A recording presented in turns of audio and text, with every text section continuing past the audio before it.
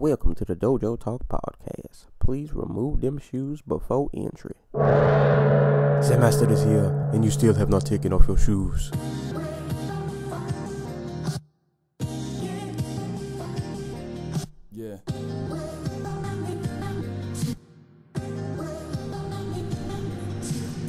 Living every day to define man's mission. Looking to the sky for divine transmission. Deaf man's vision makes the blind man listen. Eyes on the prize, this is blind ambition. Thank you. Yo, what's going on, world? Welcome to another edition of the Dojo Talk Podcast. I am your host, Cereal Sensei. It is October the 15th. My vacation is slowly winding down to an end, so I figured try to squeeze in one last episode before I got to get back to work and all that good adult stuff. Blah. but um, today got movie review on deck and two album reviews also. Um, but real quick, since I've been on vacation, I've, I've had a, a good amount of time to myself to be able to do things I don't really get to do while I'm working. So while I can't review every single thing that comes out, uh, I got to give some shout outs and just recognition to like a few games I've played, a few other movies and shows I've been watching. Um, I guess I'll start off. I actually got a chance yesterday to finally see it, which I kind of wanted to see a while ago, and then it came out, and I ended up not seeing it. But and time kind of passed, and I was like, yeah, I guess I'll catch it later. But um, I ended up checking that out yesterday, and as somebody who's never watched the originals, um, I actually, I actually enjoyed it. I thought it was a pretty, pretty dope, pretty dope movie, man. A really, I, I wasn't really scared at all of it, but it, it was pretty eerie, which I liked. Um, yeah, it was it was it was really eerie at points in that movie. Like the one scene where, and I, I'm not gonna spoil the the whole movie, but uh, the one scene where the face was on the picture, and then the kid goes to uh, the picture falls from the wall, and the kid goes to pick the picture back up, and then the face that was on the picture isn't on the picture anymore. Like that that scene, I, I really enjoyed. Like there were just certain moments in that movie that were, you know, were really eerie, but I, I thought it was really well done. Um, all the kids in that movie did a really great job with the acting. Um, really strong acting from all the kids in that movie. And yeah, man, it, it, was a good movie. It was a bit long, a little bit longer than I, I would have liked, but still pretty pretty solid throughout.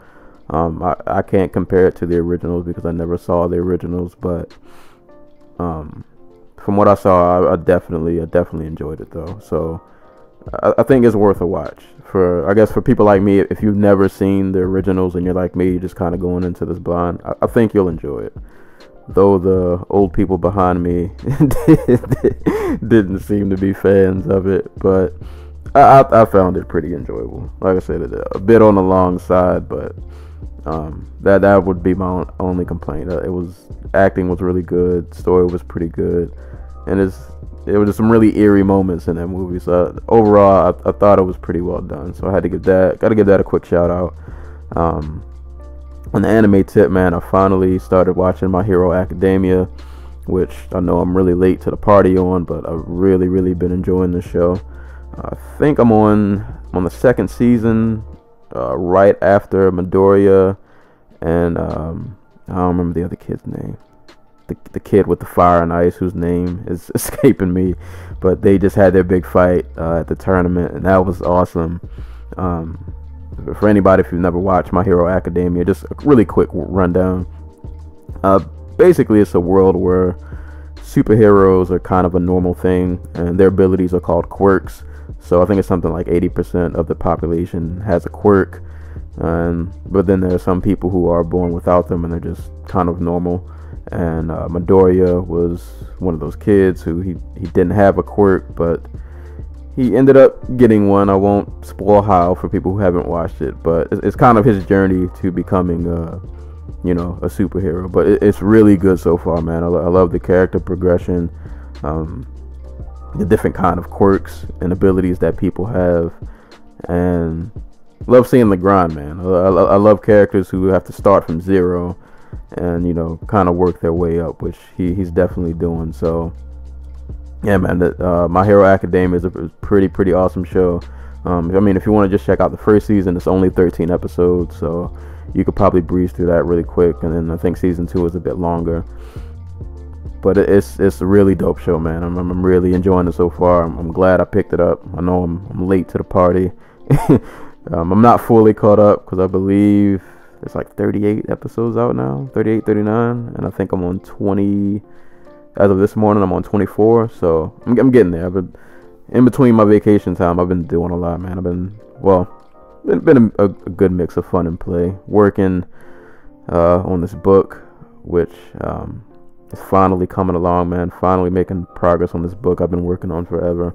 And also, quick note on that, I'll leave a description uh, in the link below for an interview I did. Shout outs to Lizzo.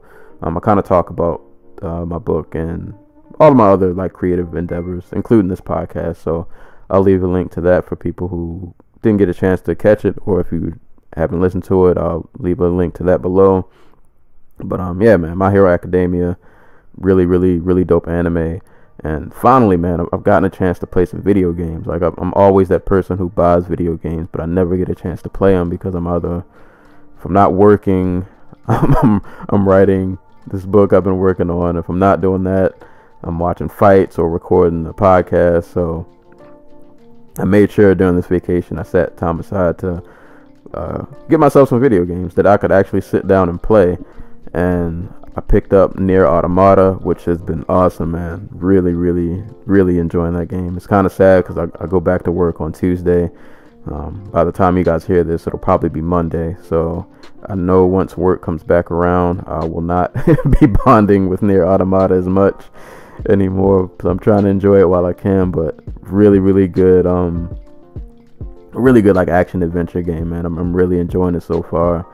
Building up my character and you know that that whole you know you know the grind in the open world games. You got to build up your character, build up the abilities and weapons, all that good stuff. But it's it's a really really dope game, and I love the the gameplay and how it at, at, moments it feels like Devil May Cry, and then like they do these weird camera switches and mode switches where it'll turn into like a, you know, like when you're flying the, the your little ship and the mode switches, and it's almost like a, it's almost like a Galaga or like a Contra game or something. Like I don't know, it's it's kind of hard to describe it if you haven't played it, but.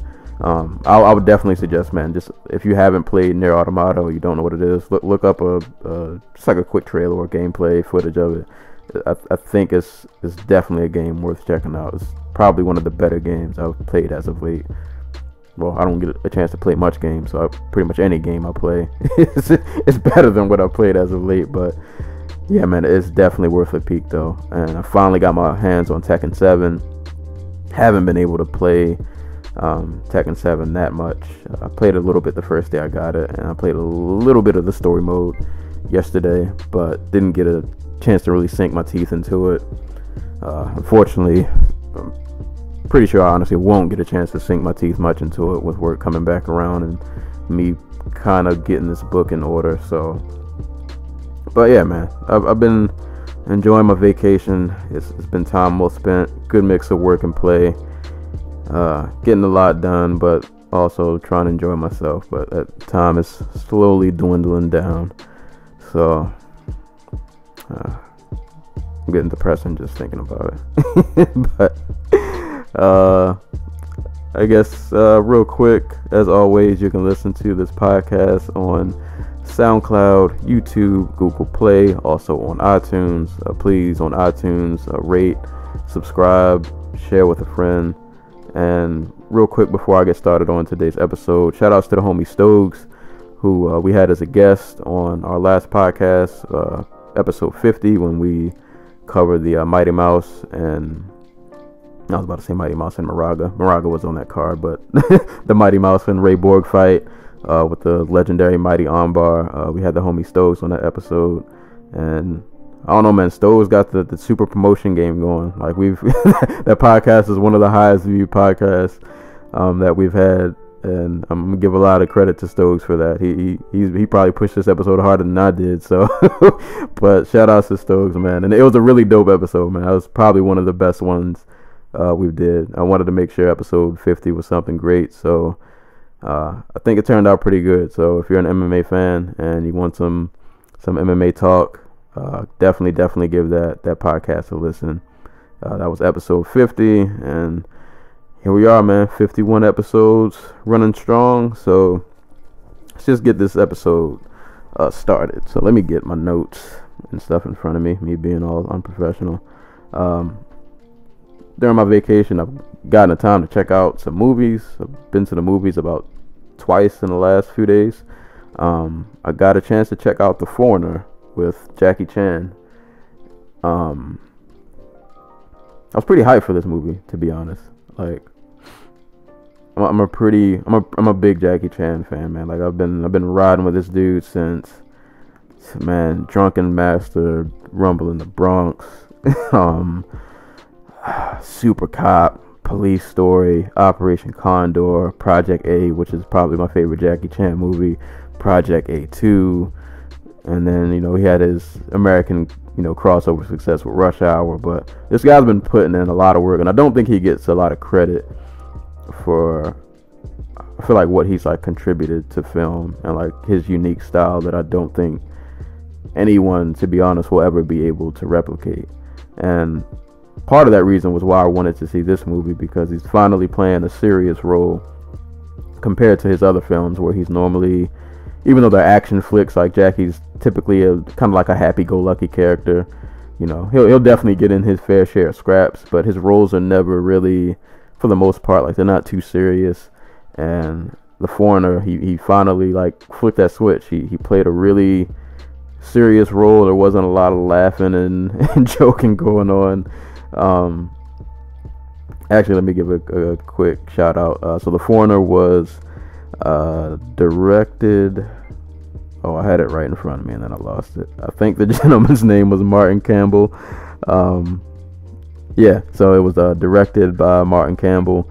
Um, main stars were Jackie Chan and uh, Pierce Brosnan. Um, if you watch 007 Goldeneye, you know who Pierce Brosnan is. But uh, those are like the two main characters, and basically the story is uh, Jackie Chan's daughter um, gets caught up in an incident that she had nothing to do with and ends up dying via a car explosion. And Jackie Chan pretty much is uh, on his Liam Neeson tip, trying to trying to get revenge, figure out who who killed his daughter, and you know he just kind of gets caught in that world of you know a revenge tale. And then you kind of find out in the film that Jackie, uh, Jackie's character, who's uh, in the movie, his character's name is Quan. Uh, Quan is just not your average dude. Um, he he has a a specialist background, so to speak, that makes him a lot more dangerous than the average person. Uh, you also find out uh, Pierce Brosnan's character, whose name is Liam Hennessy, um, who's a politician, a pretty crooked politician who's in, engaged in some pretty uh, pretty shady shenanigans to say the least. And it's basically Jackie getting caught up in that world, trying to figure out who killed his daughter, and through him invading that world, you, you get all, you know, it, it's it's a kind of a typical movie in terms of story. It's not anything mind blowing. You, you got crooked politicians who are, you know, doing things they probably shouldn't be doing. Got double crosses going on, and excuse me, people with you know their own hidden motives for for doing certain things, and you just got you know Quan who just get thrust into this world, and he doesn't really so much care about the politics of it. He's just trying to figure out who was the exact person that killed his daughter. But while it isn't anything mind blowing in terms of story, I think the strong part of the film is obviously, you know, if you've been a Jackie Chan fan, you all you you know most even if you only know him for like his American movies. Like he's always just this happy go lucky character. And this is one of the few times you get to see him in a, a serious role. And he pulls it off really well, man. Like it's a really it, it gets really dark, man. He he does a really good job though of, of selling a serious role of a man who's really out for revenge, also really broken that, you know, he, he loses his daughter. And I, I think just that whole aspect of the film plays really well. And then you got Pierce Brosnan also, who who plays a pretty good crooked politician.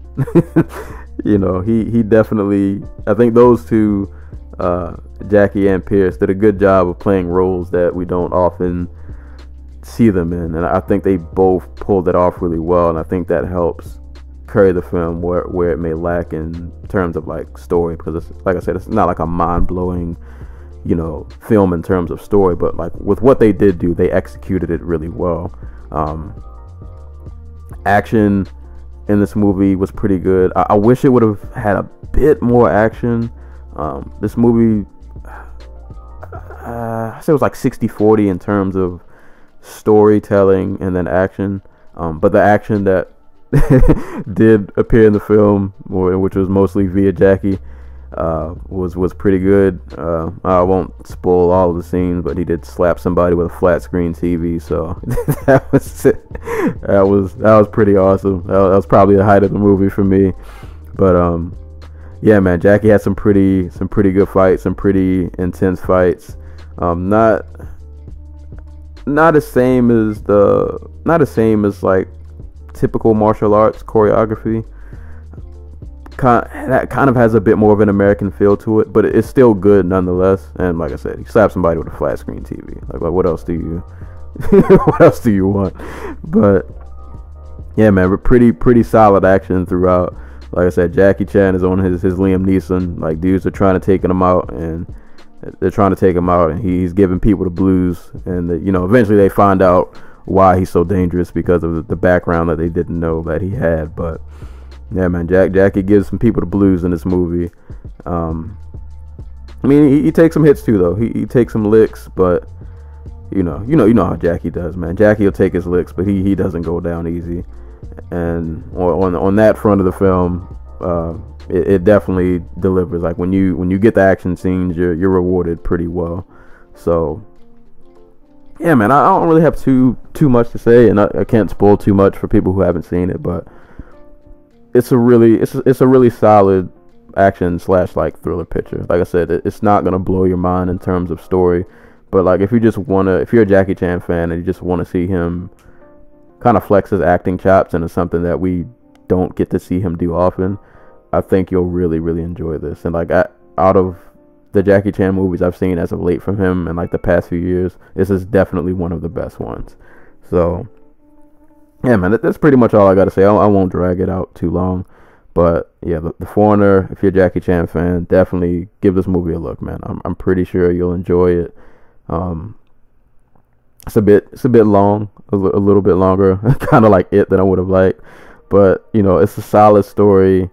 Jackie does a good job of, of pulling off his character. He really sells it really well. Pierce Brosnan holds it down on his end, and you got a few other side characters um, who also do a pretty good job, and a few other like subplots in the movie that I won't spoil. But you know, it, it's it's just a solid movie, man. It's it's like a solid B movie. Like I said, it won't won't blow your mind, but it's a solid B movie. It's if you're a Jackie Chan fan, it's, definitely worth a look. Definitely worth going to the theaters to to check out. And I'm glad to see that at least from what I've seen so far. I think the budget of this movie was about 35 million and so far I think they've made upwards of like 93 um, and it seems like it's doing pretty well overseas. So I'm, I'm good to see that this you know 2017 Jackie Chan is still putting out great work. And you know his, his films are, are still being successful. So as a Jackie fan that's just awesome to see. And like I said man it, if you're not familiar with like Jackie fan, if you're not familiar with Jackie Chan's like backlog of films, like I know I know a lot of people in America like we uh, everybody kind of knows Drunken Master, but like after that, pe- most people in America only know him for you know like the Rush Hour films with Chris Tucker, but like go back, man, watch watch Rumble in the Bronx, watch Who Am I, watch Project A watch all of the the you know watch Super Cop, watch all of his his older flicks, man. This this dude has made some really just classic action comedy flicks, and a, a lot of people like I just feel like a lot of people don't know like how good of a filmmaker he is and how unique like his style of filmmaking is. he, he does a really good job of blending action and comedy together, kind of like that slapstick style of comedy. But it, it's dope though, man. It's it's it's really dope. So yeah, he, he's he's somebody I think, sadly, who I don't think he'll be fully appreciated and until he passes, and then people will finally realize how like good of a filmmaker and how unique he was. So I'm telling you now, man, go go back and do your, your homework on Jackie, man. Dude is he's put out some classics, some really really great action comedy flicks. So so yeah, man. But but give the foreigner a look, man. Like I said, if you're a Jackie Chan fan, you want to see a nice dramatic role from Jackie mixed with some some action and a, a pretty decent storyline. It's, it's, it's something worth checking out. So. But yeah, that's pretty much all I gotta say on that. So shout out to Jackie Chan, Pierce Brosnan. Really, you know, solid movie. Definitely worth my my movie ticket price. And yeah, so I won't ramble on that anymore. Um, let's move on to some music, man. I know I'm late reviewing both of these albums. Um, to be honest, since I've been working on my book, um, my music reviews may slow down a bit. I might just focus on fights a bit more. Um, being an indie author or attempting to be an indie author is very time consuming. So, like, I, I get a chance to listen to projects, but I don't know if I'm going to be reviewing them as much anymore. I'm, I'm going to try to because there's a lot of good stuff coming out that I, I want to recognize. But in the event that you don't see as many music reviews as maybe you used to, um, you'll know why. It's because I'm, I'm working on other things that I'm trying to put out into the world. but you know, I'm I'm working, man. I'm working out here. I'm trying, but I have two projects today I want to talk about. Two projects that uh, I thoroughly, thoroughly enjoyed, man. So first up the bat is uh, Laila's Wisdom, and this is the second album from Rapsody. Uh, for people who don't know, Rapsody is a North Carolina MC. Uh, she was signed to or is signed to Jamla. Also, I believe has a deal with Roc Nation now. This is her debut Roc Nation project. Um, some of her other bodies of work. Uh, she got game, which I believe that was that was kind of like my introduction to Rapsody. Um, had she got game, uh, Beauty and the Beast EP, Crown EP, which came out last year. Um, actually, her debut album, The Idea of Beautiful, came out in like 2012 ish, something like that. So she she's been around for a good minute. Um, I've always been a fan of her, and it's been it's been awesome to see her just kind of grow and progress, and see how she just kind of went from being like this underdog MC to now she's on Roc Nation. It's, it seems like her career is is headed, and definitely is like it's going into the right direction. And this album right here was this this was what I needed, man. If, if, if you're a Rapsody fan, I feel like this is this is the one that that we've been waiting for, and it's just a quick side rant. Like with, with artists like um like Logic and let's say like a Big K.R.I.T., like always look at them like they're really talented and they've put out good bodies of work, but like I know they have that that one in them, like that special one that I know can like just that one, that one that'll we can see them really live up to their full potential. And I feel like with Laila's wisdom, like that's what we got finally from Rapsody. And not that any of her other projects were bad. Like she slowly with each project I could tell like she was getting better. And when I found out that she got signed to Roc Nation, I was like, all right, man, you gotta, you know, it's definitely time to put the best foot forward. You're on Roc Nation now. You have a lot more eyes on you than you have before. So now it's, it's really time to show out. And like I said, even from the Beauty and the Beast EP to Crown, you could tell she was taking those steps. But like with Laila's wisdom, man, she didn't just she didn't just take a step, man. She took a leap forward, man. This this project is really, really like this is easily Rapsody's best body of work, probably most complete body of work. Like this is the perfect album that you need to put out when you're, you know, you get to a bigger label and you have more eyes on you. Like this is a good, this is a uh, no, this is a great starting point for people who've never heard of Rapsody. Yeah, like if this is their first time hearing of her, this is a great start, man. Like this album from top to bottom is just is so good. Like I was literally like I was excited while I was listening to this because like with each song it just from first listen, man, each song it just it kept getting better and better and better. Um I guess to get into some specifics, uh production, I actually love that she didn't switch up her team, man. Like the production on this album, I, I don't have like the credits uh exactly in front of me, but she stuck with pretty much, I believe, the same people that she's been rocking with since day one. So dudes like Ninth Wonder, who handled a lot of production on here, uh, Khrysis, um, I think Knots did a beat on here. Pretty much all of the people she's been rocking with before, and the Jamla camp in terms of producers, like these are the same people who she has on this album. But what I thought was really dope was like the production has seemed to it's, it's gotten even better than what it was on her previous works. Like even though she's working with the same producers, they've they, all of them have elevated their game. So shout outs to Ninth, Khrysis, all, all the people over there at Jamla whose Rapsody's been been rocking with. Like they stepped up their game in terms of production, and they gave her they they gave her kind of what an old Rapsody fan would appreciate but they also gave her a, a few new looks on this uh, album, a few different sounds and beats that we've never really heard Rapsody go over before. Um, the album at times it can be soulful, but it can also be bouncy. It can be upbeat. Um, a lot of these tracks, which I love, have like these beat switch ups that'll happen towards like the middle of the end of the track. Um, I'll get into it probably more in depth later, but uh, the track uh, roller coaster jam called Love has like three beat switch ups, and my god, that last one, I'll get to it when I start talking about specific tracks. But yeah, man, like it's just it's it's really dope, man. They they gave us some really good production. Like it's it's, it's soulful, but not really like super boom bap. So I, I feel like it still has an accessible sound to it.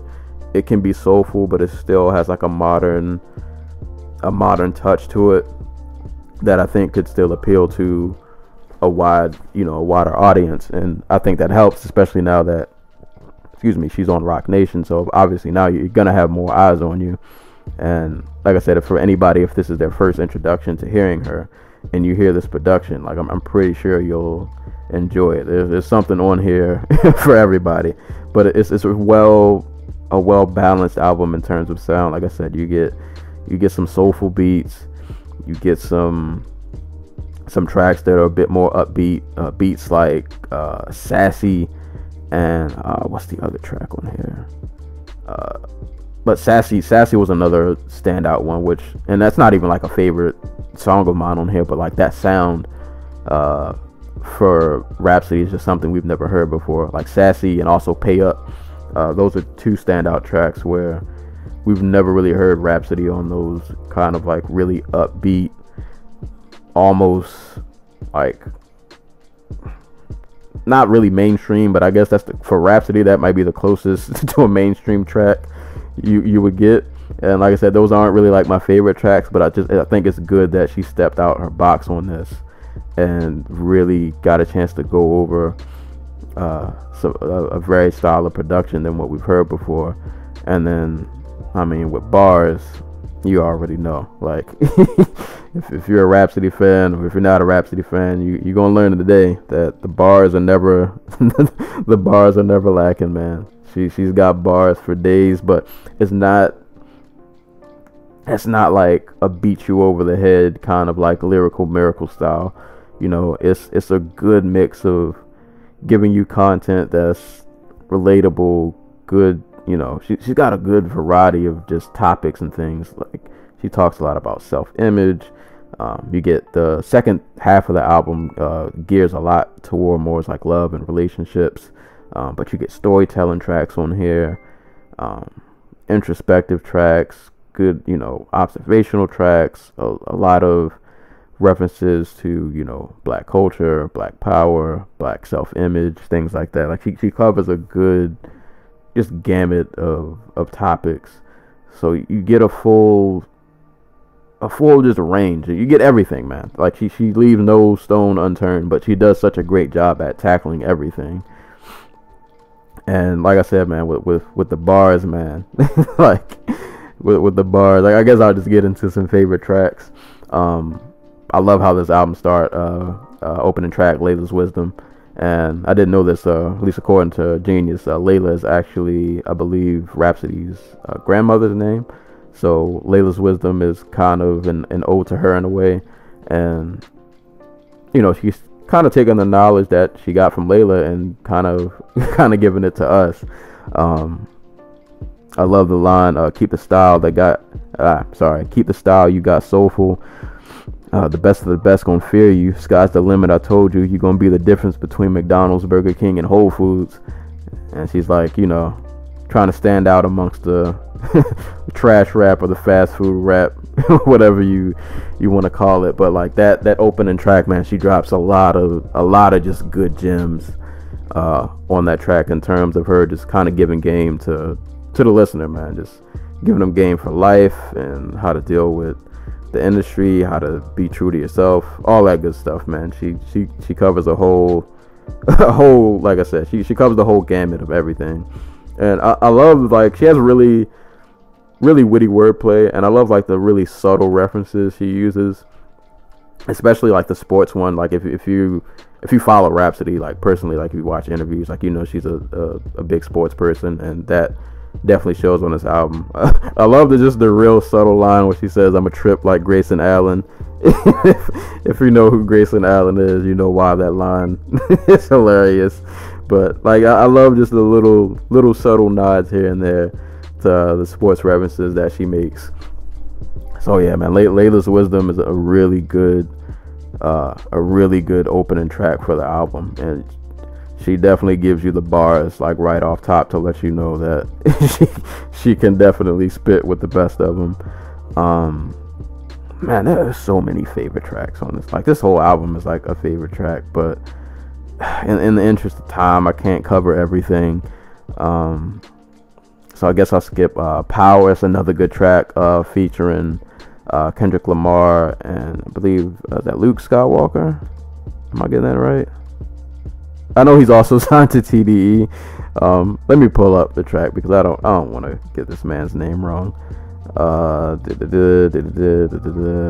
no, sorry, I said Luke Skywalker, Lance Skywalker, uh, who I believe is also signed to TDE.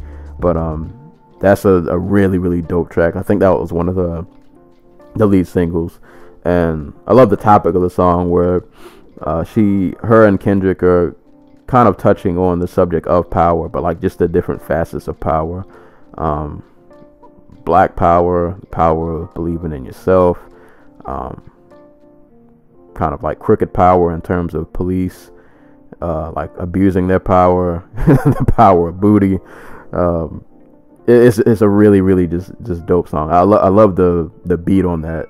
That I don't know what that little weird, that like almost electric weird sound thing if you listen to the track, you know what I'm talking about. But I love I love the the instrumental on that track, and like I said, man, Rapsody's bar and just bars on that track, and then Kendrick comes in, man, he he kills it, and uh, Lance Skywalker does a great job on the hook. That was another favorite track. Um, the track Nobody with uh, Anderson .Paak and I think it was Anderson .Paak and Black Thought. Um, it's a really long track. It's a, it's a, it's a good like seven minutes long. Uh, yeah, features Anderson .Paak, Black Thought, and Moonchild. Um, but this was another favorite track of mine. Um, a lot of Rapsody talking about like nobody knows, just a lot of things we, a lot of things we don't know, or things we do know but we act like we don't know. it's kind of weird, but if you listen to it, you'll you'll get what I'm talking about. But the reason I, I wanted to highlight this track, uh, man, Black Thoughts first. Um, I mean, Black Thought and Rapsody on the track is is wild enough. But uh, man, Black Thought's verse. Uh, between the world and me, like Mr. Ta-Nehisi nobody knows the artist that Ta-Nehisi quotes. Laughing the boys, they grasping at straws to sniff the dope. Pen been engaged for ages. We should probably elope. Like bars. like I don't even know what else to say, man. Like Black Thought just bodied that verse. Like that that whole song is dope, but man, Black Thought came through at the end and just just killed it. And like I said, man, this it's the thing I love about this album is like songs like Nobody. Really, most of the songs on here, like Rapsody, does a great job of making a song about a topic, being able to like stick to the topic and have good good content, but still giving you bars along the way. Like it's it's a really good it's a really good mesh of, you know, I can give you content and give you something to think about, but I can still rap. Like it's not just I'm preaching to the choir, you know, she's excuse me.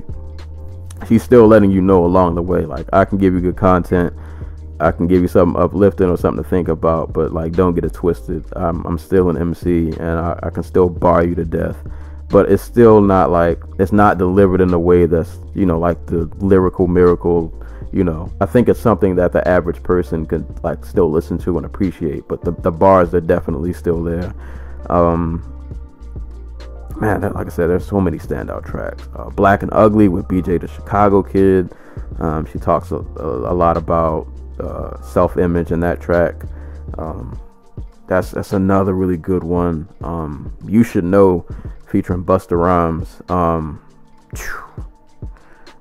you don't talk about blacking out on a track, like she just this is the one track. I mean, a, lot of tracks she goes in, but she really goes in on this track, man. And then the second verse, where she is just the flow on the second verse is just out of control. Like the, the way she bodied that second verse, the way she just flowed over that beat, and it was just like I don't even understand how you can just how have you been rapping for this long and you haven't gotten tired yet? Like she she was just bodying that song, man. But it's Influenced by many, but I'm a whole new star. Yeah, there's levels to this, but I'm a whole new floor. They talking keys to success, but I'm a whole new door.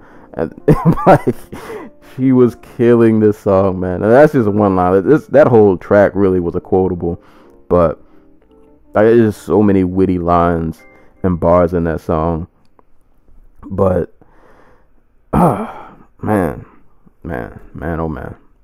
And then Busta Rhymes part actually marks like a transition point in the album where uh, I feel like the first half of this album is a bit more well, kind of with the exception of um, Pay Up and Sassy, like it's a bit more serious. Um, I feel like uh, I feel like it's really bar heavy in the first half, and then like right at the end of um, You Should Know, Busta Rhymes comes in and as he quotes get on get on his, his Barry White. And he kind of does like this this love interlude. And that kind of sets the tone for the second half of the album. Because like I said the second half uh, definitely focuses a lot more on like love and relationships so you get tracks uh, which I guess I'll mention because I talked about this earlier um, a roller coaster jam called Love featuring uh, Musiq Soulchild and Gwen Bunn if I'm saying that right um, that track is kind of pretty much what the title implies. You know, just the ups and downs of relationships and the different emotions and everything. But as I mentioned before, like uh, on the production tip on this album, a lot of the tracks have these beat switch ups, and this track has three of them. and man, that that that third beat switch, man, is so smooth. And then Musiq uh, Soulchild comes in, like his vocals are just they're just perfect. Oh, accidentally accidentally hit play. I don't know if y'all just heard that, but um, yeah, man, that third beat switch up when like you start to hear Musiq, Soulchild start harmonizing, and then that is so just smooth. Like that's definitely one of my favorite tracks, just because of that. The last like minute and a half of that song it's just it's so smooth the way it rides out. Um, and you get tracks like "You Used to Love Me" with Terrace Martin. He added his his nice little little touch to that track. Um, "Knock on My Door" uh, once again with BJ the Chicago Kid. And I guess real quick, the features on this album all did a great job, man. Like even the people I didn't know. Like I said, you get people like Kendrick, uh, Lance Skywalker, Anderson .Paak, BJ the Chicago Kid, but um, and of course Black Thought. But then you get um I'm kind of jumping around, but uh, the track "Riding" with GQ, I don't know who that gentleman is, but he bodied his verse. Uh, Busta Rhymes, like I said, he's on here. Um, the last track, uh, "Jesus Coming," which features Amber uh, Navran. I'm probably butchering that name, but point being, man, like all of the features contribute really well on this album without like outshining Rapsody. Like I feel like everybody's every feature adds something special to the track that they're on without like overshadowing Rapsody or her getting like lost in the mix. Like she makes sure she's still front and you know front and center, you know, still commanding the song. But these other people are, are definitely these other artists are just adding to songs that are already great. And like I said, uh, to get back, uh, knock on my door. Uh, it's a, a good track with her, kind of like spitting game to her neighbor, you know, trying to get to know him, all that good stuff. That that track was was pretty cool. Um, which uh, pretty cool track. Um, I accidentally hit the play button again. I don't know if you guys heard that again, but uh, with Anderson .Paak. Um, I honestly could have done without the song only because it was already on the Crown EP, so I'd heard it already. But it's not a bad track.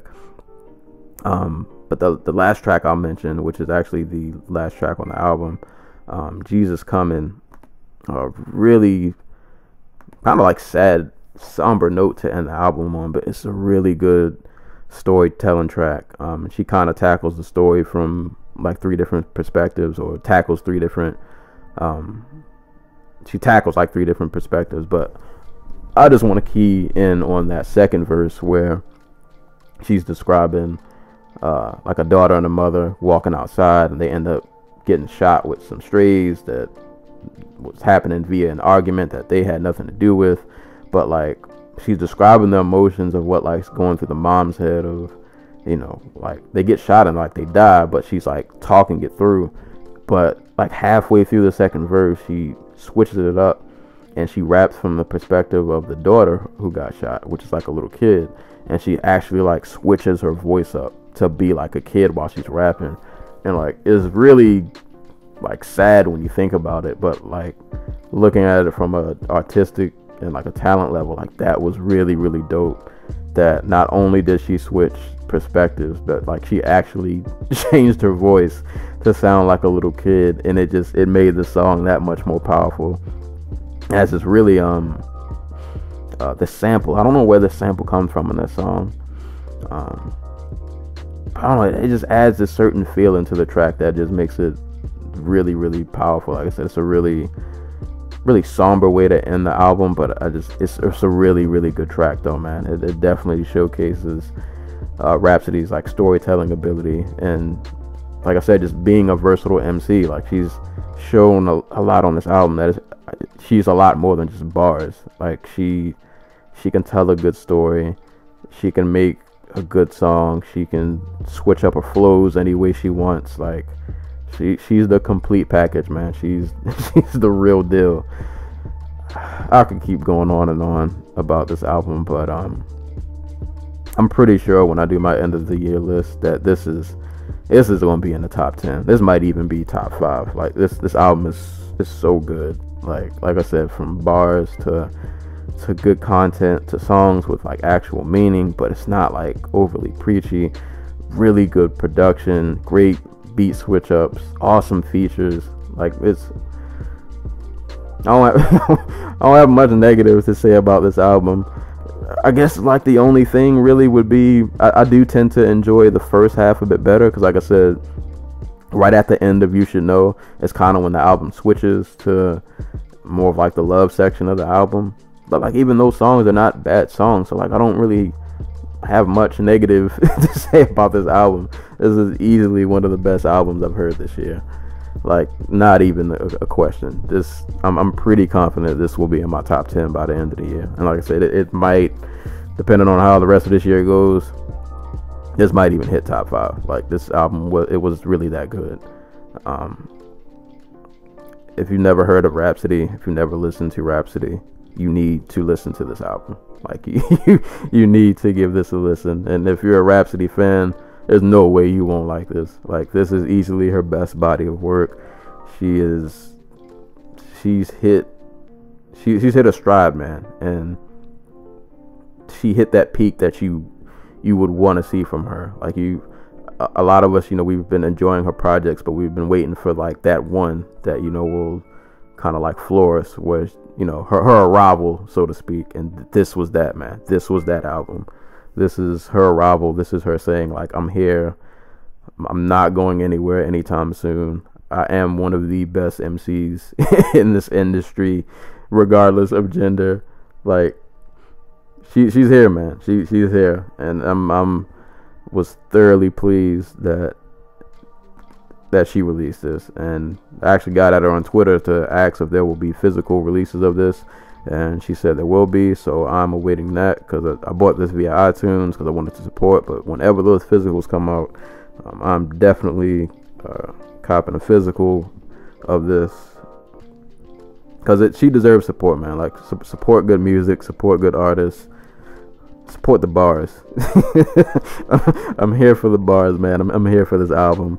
This album is is is it's, it's just really good, man. I, I don't I, I can't sing enough praises really for this album. Other than you, if you're listening, if you can hear my voice, you need to give this a listen. Um, yeah, man, go listen to it. That's that's all I gotta say, man. Rapsody came through in a major way. She dropped a, a really, really great, awesome, high quality project, man. Top to bottom, this album is just it's so good. I've I've already gone back and listened to this like repeatedly, and it just, it gets better every time I listen to it. And I still haven't gotten tired of of blaring this in my headphones. So shout outs to Rapsody, shout outs to Jamla everybody over in that camp, man. Like you, you guys got a monster on your hands, and it's been awesome to see her career grow and progress, and she can only go up. So, if you've never heard of Rapsody before, man, get get familiar because she's she's here.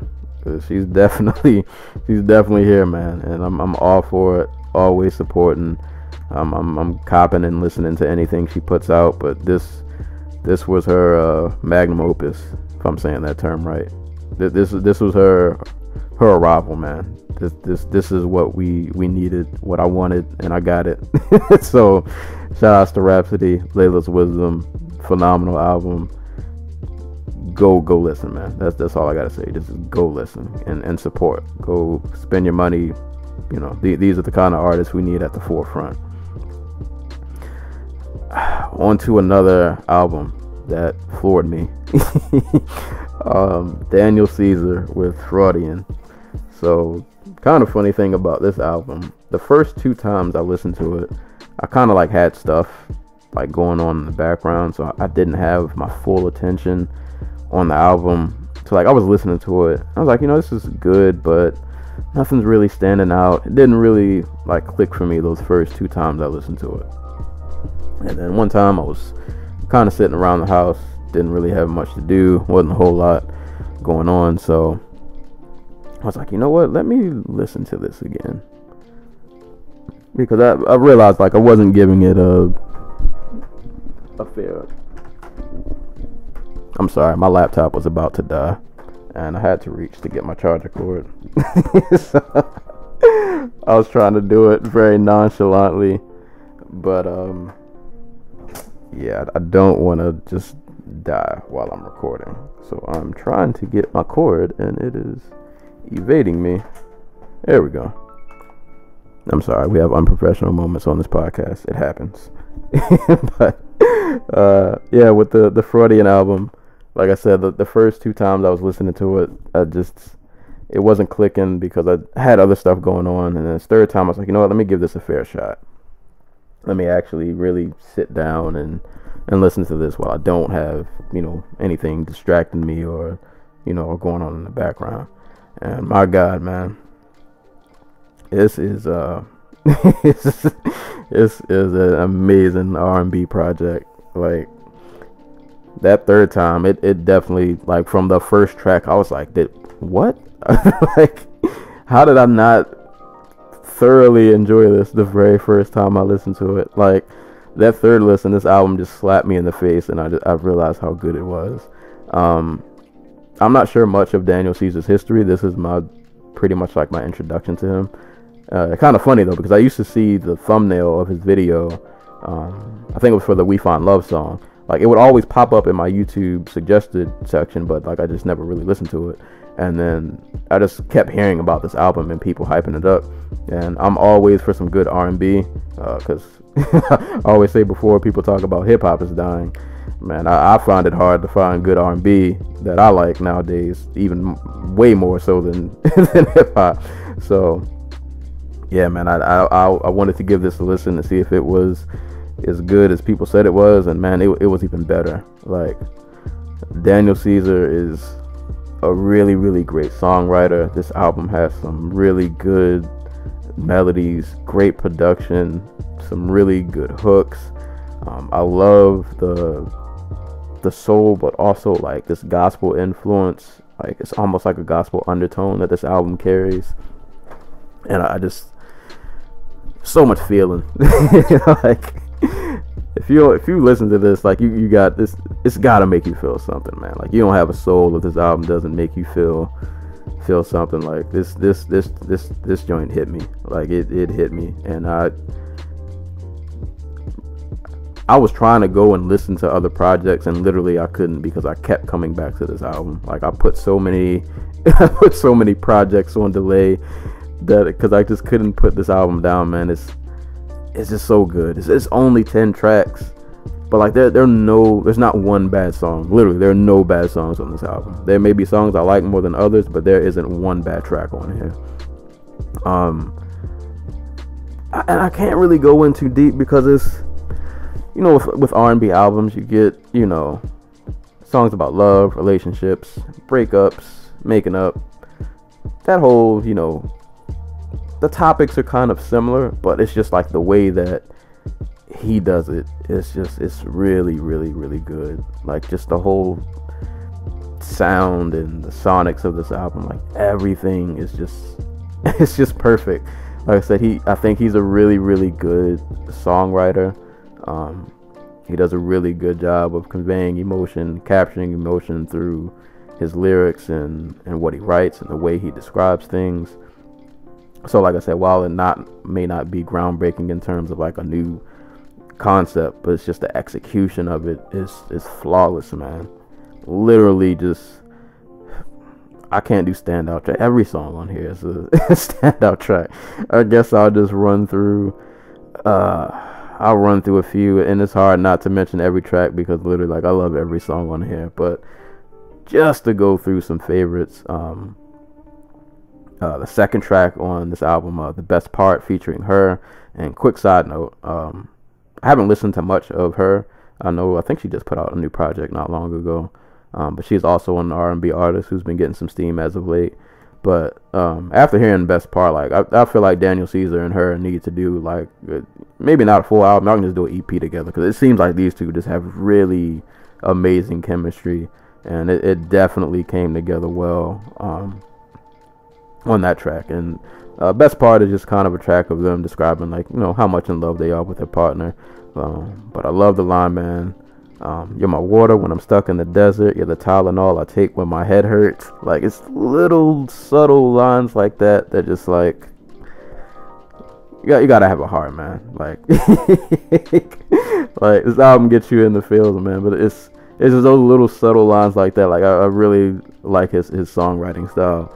But like yeah, Daniel and her just amazing chemistry on that track. It, it just you feel it, man. Like if, like I said, man, if, if, you listen to this album, man, you're, you're gonna feel it. You, you, you have to feel it. Um, another great track, "Hold Me Down." Um, and real shout out, I had to actually dig for this because I wanted to give her credit.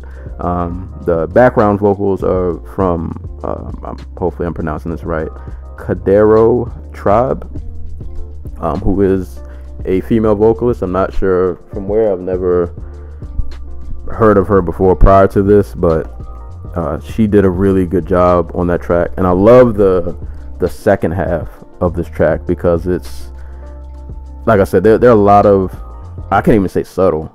You, you sense a lot of like gospel influence in this album, and this album actually kind of like Rapsody's album. A lot of these songs have like these switch ups towards like the middle of the end, and uh, hold me down it'll start off one way and then like the last minute it switches to this uh, interpolation of an old Kirk Franklin song called "Hold Me Now." Um, but the, it's done so well, man. Like that, just slight little gospel touch is. Like I said, man, if you if you don't feel this album, I don't know. like, I don't know what to tell you. I'm sorry. My my power cord. Y'all are gonna hear me get up. So I went to plug in my power cord, and my power cord got unplugged, and my laptop's at zero percent. Sorry for my unprofessional interruptions, but anywho, hold me down, man. The, the the last like minute of that track is just like. Uh, that this is his whole album is just like that. Like it's just those a bunch of those moments rolled into one. Um, another standout track. Uh, I'll probably say best part is probably my favorite song on here. Um, but this next track, "We Find Love," is probably my number two. Um, really, also another song where you can clearly hear like the the gospel influence, and also I feel like like the hook of this song kind of gives me like a John Legend a lot of John Legend is feel. I don't know if it's just me, but I, I kind of got that from the hook. But anywho, um, another really beautifully written song. Kind of, it's kind of weird though because the the song itself, like if you actually listen to it, is kind of him talking about a, a failed relationship, but it has this really like uplifting feel to it, almost as a way to say like I get it, this relationship's over, but it's like I'll I'll be okay. Like I'll I'll figure out how to how to get through this. But like that that song and if you've heard of Daniel Caesar, you probably heard that song. Cause I'm pretty sure like this was a single and probably like one of his most uh, popular songs to date. But oh man, that song is amazing.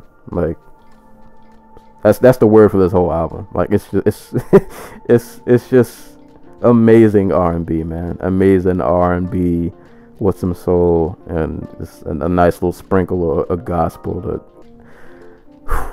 that track, amazing. Um, the very next track after that, uh, entitled "Blessed," where he's kind of talking about, kind of him, I guess, getting his his girl back, and he's got the relationship back on track, and he's talking about how he's.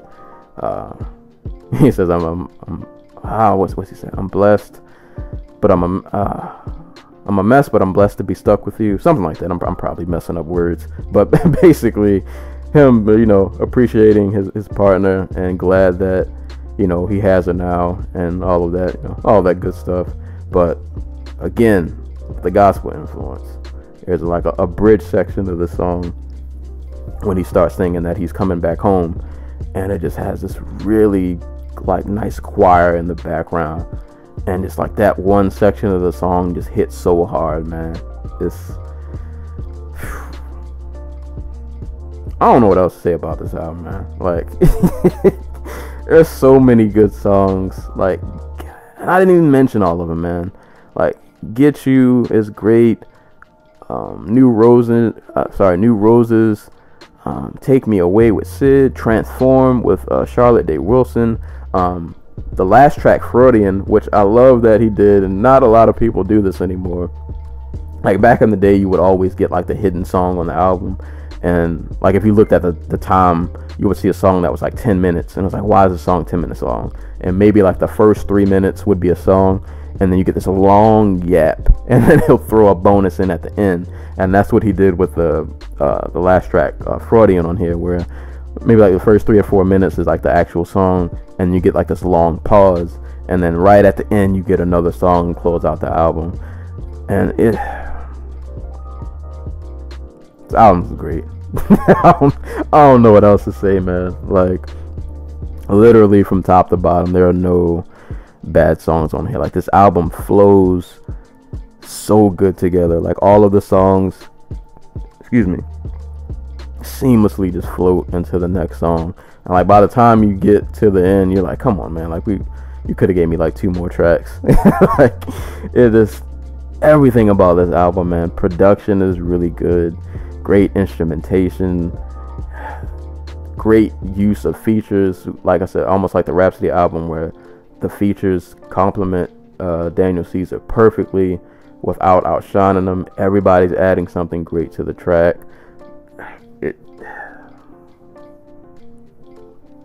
This album might. I don't lie for a second. Uh, I don't know if I said this before, but like uh, the Joey Badass album is probably still my favorite album this year. But this is a strong number two, and I this might this might hit number one. Like it might. Uh, I'll see how this this year plays out. Still got two more months left, so we never know what happened between now and then. But this that this flawless. That's all I can say. Flawless R&B album.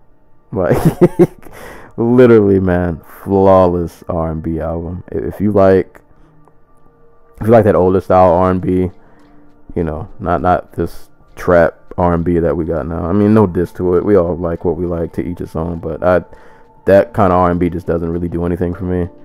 If if you want that R&B that has like some some real feeling into it, some really great songwriting, like this this is where it's at.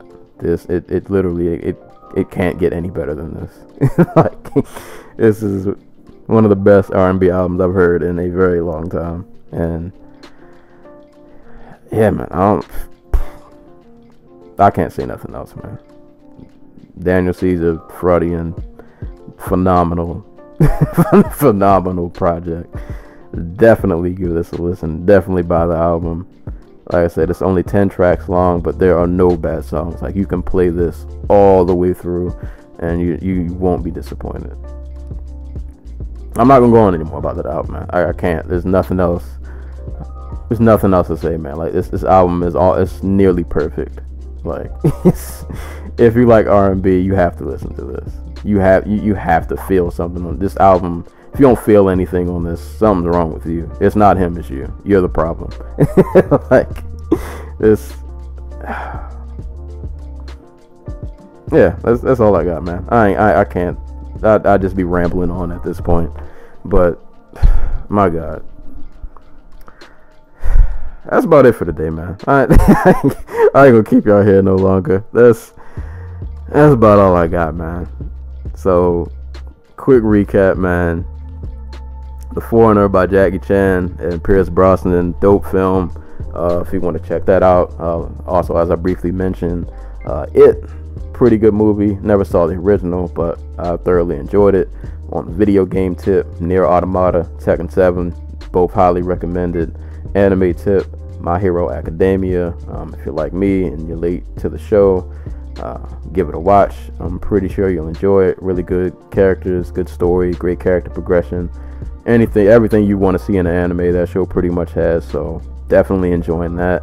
Um, and on the music tip, man, Rapsody, Laila's Wisdom, phenomenal album from from her. Great to see her. Shout outs to Jamla, shout outs to Roc Nation, and Daniel Caesar, Freudian. Salutes. that's all I can do, man. Just salutes to a phenomenal project just really, really good project. Um, so yeah, man, give, give everything I mentioned a listen or watch. Um, I'm pretty sure you won't be disappointed. Uh, in terms of future reviews, like I said earlier, I am kind of uh, working on a book on the side, which has been very time consuming. Um, and I'm, I'm, really trying to get serious and put the, you know, get the final kinks in, get this worked out because I definitely want to release this book next year. So I'm trying really hard to make that happen. So in between writing and you know recording podcasts and watching fights, like I don't always have my time is is is being taken away from me. Um, and then work is coming back up. So I'm not sure if the music reviews will be coming as much as I want them to, because like I said, I'm about to divert a lot of attention to this book. But I'm gonna try to still keep the reviews going as much as I can. Um, I listened to uh, the new Wu Tang album. I copped that the other day. Um, kind of linguist album. Um, definitely want to review that. And yeah, I've been keeping my ear open. I'm, I'm still listening to projects. Still got projects I want to want to check out. Haven't gotten a chance to listen to uh, Open Mike Eagles new album yet. So I still got other albums I need to check out, but some new ones I have peeped that I want to try to review. So hopefully I can get those out to you guys. As always, the fights uh, with my co-host Antacool, definitely still covering those. So uh, we actually had a lot of fights going on this weekend that hopefully we'll briefly get to mention on the next podcast. But uh, next UFC card, I believe, is the uh, Darren Till and Donald Cerrone fight. So we'll be covering that. Also, hinty hint. Hopefully, we'll be having a guest. Um, once again, guests seem to work pretty well on this show. So we uh, we might be having a guest for that episode. So I'm hoping that that pans out. Um, and once again, shout outs to the homie Stokes, episode 50. If you're an MMA fan, please listen to that that episode. It's been getting some some good steam. shout outs to Aaron Pico and Adam Milstead, who who I think uh, liked the podcast post on Instagram. So shout outs to them too. Trying to, like I said, always trying to grow the fan base. So if you like MMA, you like music, a little bit of movies, all that good stuff, we got you covered. So yeah, man, that's pretty much all I got. You can listen to the Dojo Talk podcast on SoundCloud, on YouTube, Google Play, also on iTunes. If you're on iTunes, please rate, subscribe, share with a friend, like the Dojo Talk podcast on Facebook, and if you want to, you can follow me on Twitter at Cereal Sensei. So that's pretty much about it for today. Sorry y'all had to bear with me reaching over. I probably got really loud in the mic. I apologize. reaching over trying to plug my laptop charger in so I didn't die while I was recording. But um yeah man, appreciate you guys for listening. This has been episode 51 of the Dojo Talk podcast. I'm your host, Cereal Sensei, and until next time, I will catch you guys later. Peace.